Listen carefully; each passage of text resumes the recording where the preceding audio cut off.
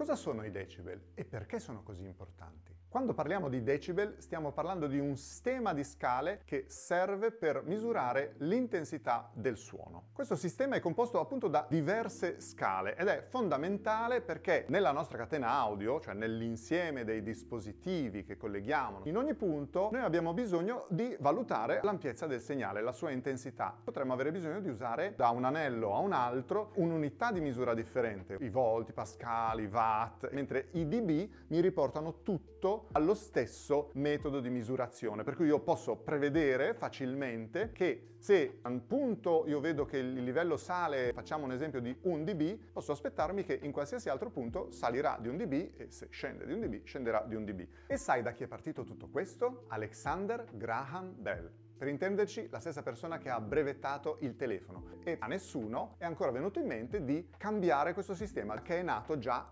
perfetto. Questo e molto altro lo insegno al corso fonico breve qui alla NAM di Milano. E tu, quante scale di decibel conosci? Scrivilo qui nei commenti.